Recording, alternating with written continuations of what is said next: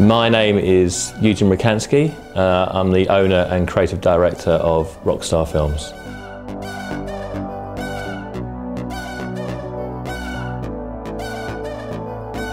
We have a variety of people here, so from 3D people who are creating the most amazing kind of computer graphics through to people who are cutting various different films that we're working on. So everybody all the time has lists of jobs to do. Our day actually starts the evening before.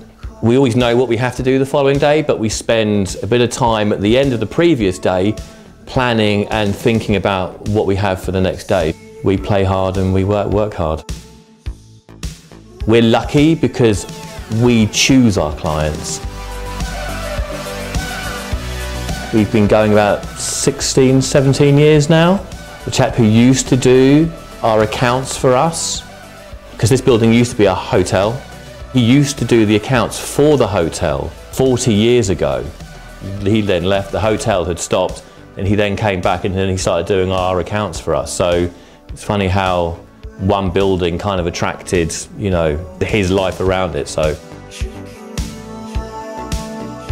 So the reason really that we're in Prince of Wales Road is actually because it's close to the train station.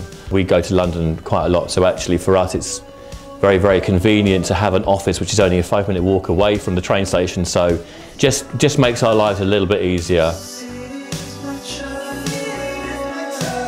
Every time we have a cup of tea, I have to have two cups of tea. I probably have eight or ten cups of tea a day just to keep the creative river running. yes, we do have a sense of achievement, but there's always niggling little things that are always around to just think, oh man, that bit could have been a bit better, or that bit could have been a bit redder, or whatever.